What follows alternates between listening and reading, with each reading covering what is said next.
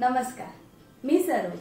परब किचनमध्ये तुम्हा सर्वांचं खूप खूप मनापासून स्वागत. मागच्या भागामध्ये आपण पाहिलं की महिलांनी खास काय दक्षता घ्यायला हवी?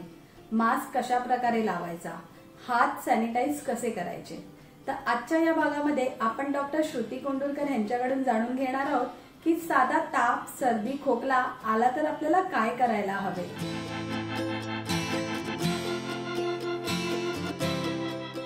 याच्या आधी आपल्याला सर्दी खोकला वगैरे झाला तर त्यावेळेला आपण कधी घाबरत नव्हतो. यावेळेला पेशंट जे येत आहेत माझ्याकडे ते थोडीही सर्दी झाली किंवा एखादी दुसरी शिंक आली थोडासा ताप आला की लगेच घाबरत आहे तर माझं तुम्हाला सांगणं हेच आहे की तुम्ही लगेच घाबरून जाऊ नका. थोडा ताप थोडी सर्दी थोडा खोकला हे साध्या फ्लूची लक्षणं सुद्धा असू शकतात. म्हणजे घाबरून जाऊ नका ह्याचा अर्थ पूर्णपणे निष्काळजीपणे वागणं असं नाही होत. तुम्ही त्याची काळजी घ्या. घरगुती थोडेसे उपाय करा. डॉक्टरांना भेटा तुमच्या डॉक्टरांचा सल्ला घ्या आणि त्यानुसारच तुम्ही काही असेल ती पुढची पावलं घ्या. त्याचसोबत तुम्हाला जे सर्दी खोकला ताप असं काही झालं असेल तर तुम्ही साधारणपणे आराम करा. भरपूर पाणी प्या. सिट्रस ज्या फ्रूट्समध्ये असतात म्हणजे साधारण आपल्याकडे जे सीझनल फ्रूट्स असतात त्याच्यामध्ये सिट्रसचं प्रमाण येतं. जसे संत्री झाले लिंबू झाले ही जी फळं असतात त्याच्यातनं आपल्याला नॅचरली सिट्रस मिळते त्यामुळे आपली इम्युन सिस्टम चांगली वाढते. सोबत तुम्ही विटॅमिन सीच्या टॅबलेट्स घेऊ शकता. विटॅमिन सीमुळे सुद्धा तुम्हाला तुमची इम्युनिटी सिस्टम तुमची थकावट वगैरे घालवण्यासाठी भरपूर त्याचा उपयोग होऊ शकतो.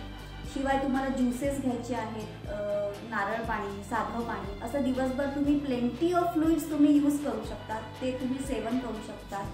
आणि याप्रमाणे जर दोन तीन दिवसात तुमचं व्हायरल फ्लू साधा असेल तर तो असाही शेड ऑफ होणार आहे. त्यामुळे त्याबद्दल तुम्हाला काळजी करण्याची अजिबात गरज नाही.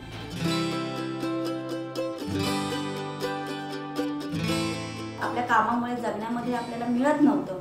आपल्या फॅमिलीच्या लोकांसाठी आपल्याला वेळ देता येत नव्हता. तर मला असं वाटते हा जो तुम्हाला काही लॉकडाऊन मिळाला आहे यामध्ये तुम्ही तुमच्या फॅमिलीतील लोकांना वेळ देऊ शकता त्यांच्याशी गप्पा मारू शकतात त्यांच्याशी खेळू शकतात त्यांच्याशी बाकी गोष्टींबद्दल तुम्ही त्यांच्याशी कामं शेअर करू शकतात बऱ्याच गोष्टी आहेत ज्या आपण आपल्या फॅमिली मेंबरबरोबर करण्याच्या राहून गेल्या आहेत. त्यास आपण ह्या वेळेत करू शकतो. दुसरी गोष्ट फॅमिली म्हणजे जे ज्या आता घरात तुमच्या उपस्थित आहेत तेच. फॅमिलीबरोबर राहणं म्हणजे बाकीच्या मेंबर्स असतात आपले इकडे तिकडे राहायला गेलेले असतात.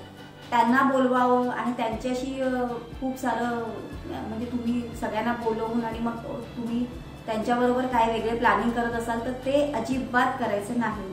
ते एकदम चुकीचं आहे. हा लॉकडाऊन आपल्याला फक्त फक्त आपल्यासाठीच वेळ द्यायचा आहे. आपल्या आणि आपल्यासाठीच घालवायचा आहे. आपल्या घरात जी व्यक्ती राहते त्याच व्यक्तीबरोबर आपल्याला घरात राहायचं आहे. इतर कोणतीही नाही. मग ते तुमची कितीही फ्रेंड असो तुमचे सख्खे नातेवाईक असो तुमची मुलं बाहेर गेलेली असो किंवा तुमचे भाऊ बहिणी जे पण कोणी असो तुम्ही दुसऱ्यांना आपल्या घरात घ्यायचं नाही.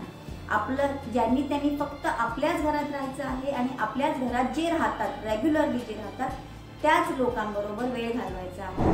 वेळ घालवण्यासाठी तुम्ही काही करू शकतात. वेगवेगळे पदार्थ बनवून करू शकतात. मुलांबरोबर वेगवेगळे खेळ खेळू शकतात. आता हल्ली टी व्हीवर रामायण महाभारत चालू आहे. त्याचं तुम्ही त्याची तुम्ही मजा घेऊ शकता.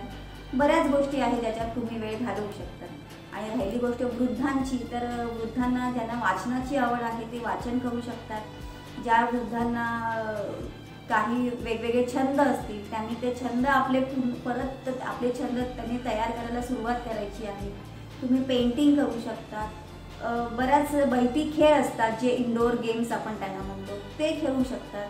असं म्हणजे वेळ घालवायला तर बऱ्याच गोष्टी आहेत फक्त आपल्याला त्यातला इंटरेस्ट वाढवला पाहिजे. बाहेर जाऊन इन्फेक्ट होऊन येण्यापेक्षा घरात वेळ घालवणं कधीही योग्य असेल.